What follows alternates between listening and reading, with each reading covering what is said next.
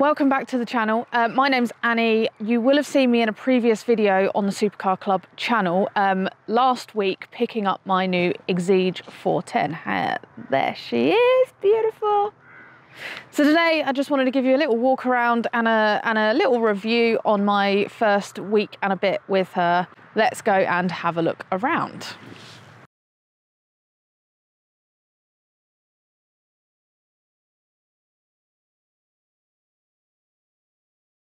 So the first thing I am sure you'll probably notice is this wing, which sits about the same height as the car.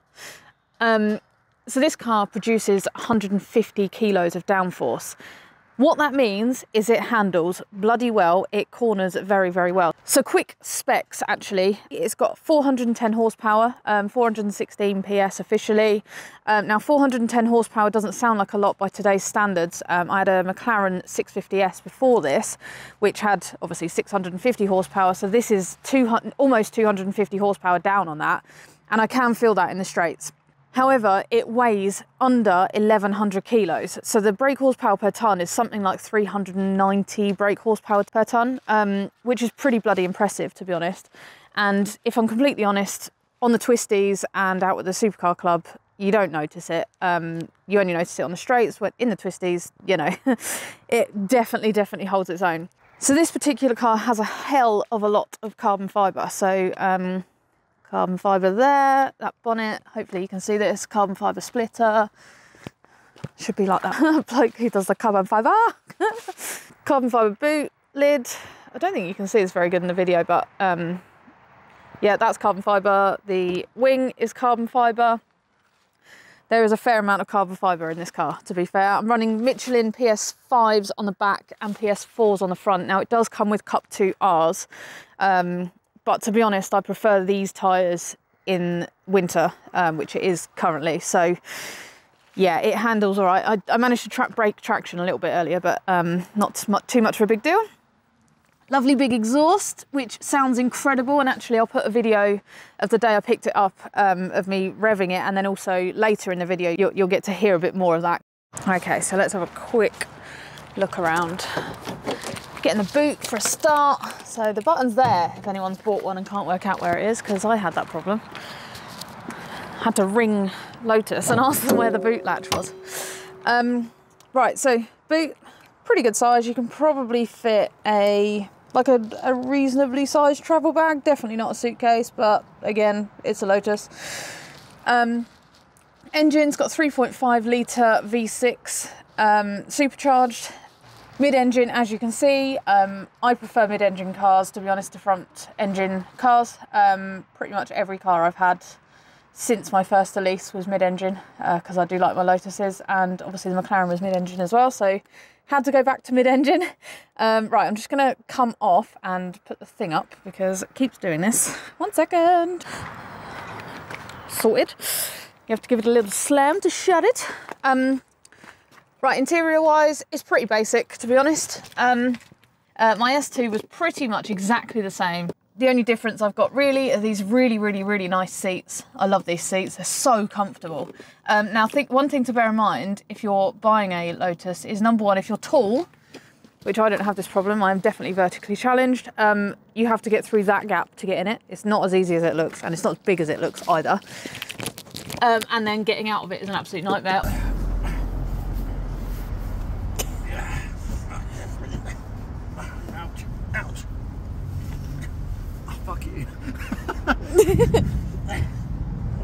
well, this is wonderful. Do you want help? Uh, no. sure? Uh, ow! Ah. There we go, I'm out. Oh, yeah. Oh, yeah.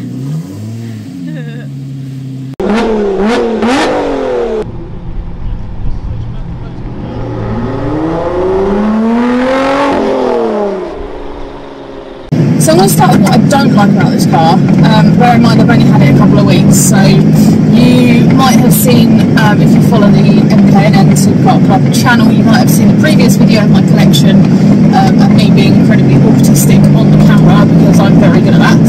Um, but, so the things I don't like uh, are getting in and out is a pain in the ass.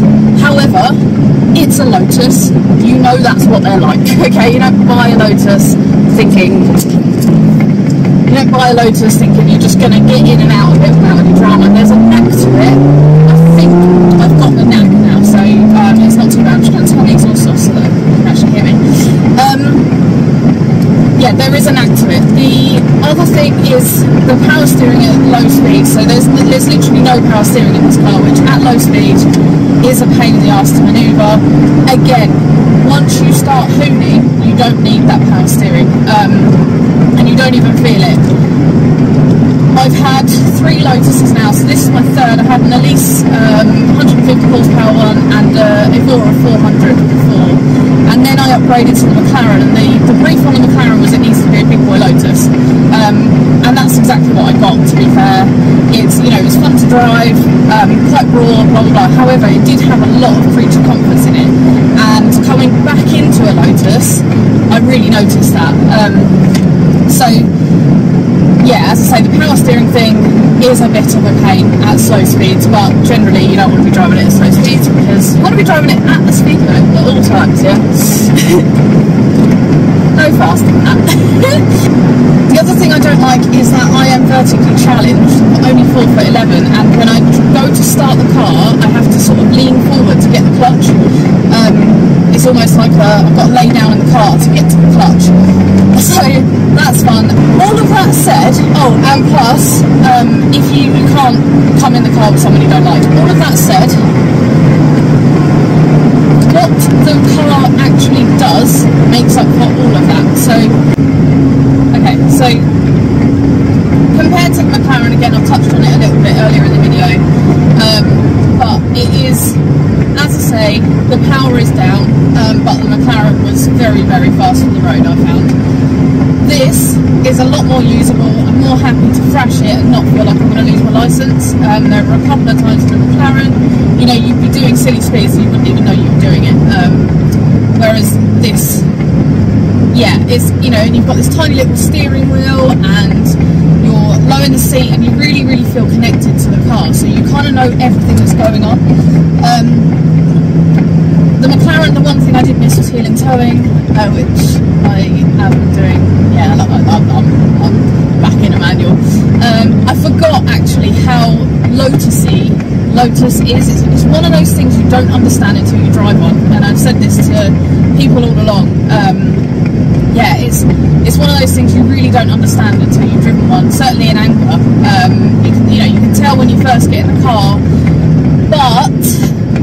when you actually drive it and you feel the suspension and you feel how the car's behaving, the feedback through the steering wheel and you know the clicky gearbox. So the, the Exige 410 um, has got an exposed, exposed gear linkage, um, so you can see what's happening when you're changing gear. But yeah, it's it's you know everything is kind of it's weight saving, it's light, there's no creature comfort, um, it's just you in the car. Now the McLaren, I was more than happy to daily and I did. Um, I did a lot of miles in that car over the nearly two years I owned it.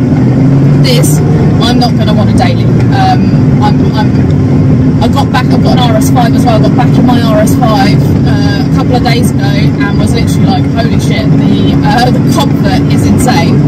However, feels like a boat when you've been driving this, whereas in the McLaren it wasn't quite such a difference. Whereas once you've gone from this back into um, back into the RS5, it's literally like turn and wait, if you know what I mean. Um, but you know, I bought that car as a as a sense of luxury and a nice thing that I actually want to be in every day. So it does its job. Enough about what I don't like. What I do like is let's demonstrate the first thing. I'm just going to open the window, open the exhaust. So take my mic off, stick it out the window.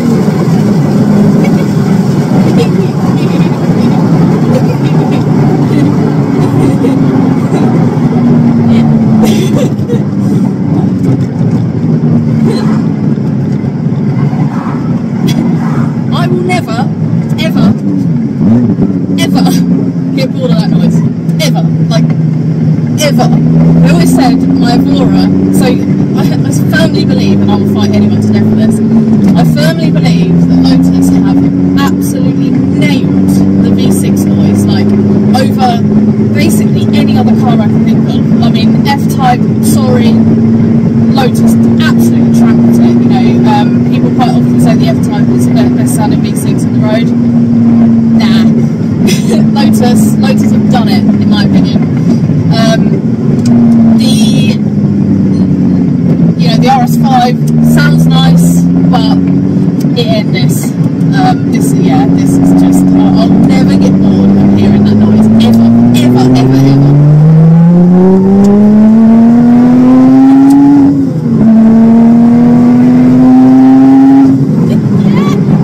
So, to give you an idea, I was not breaking the speed limit then.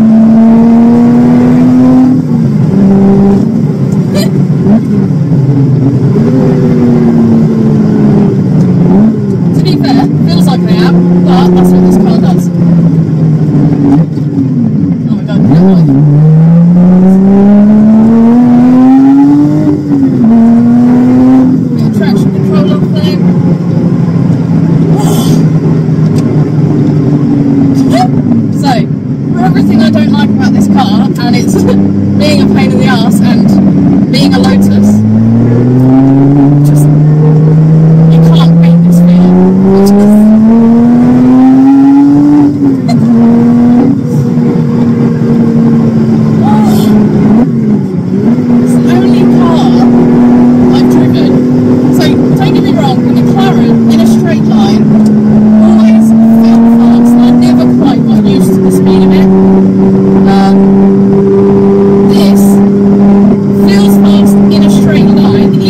weren't particularly going very fast, but also.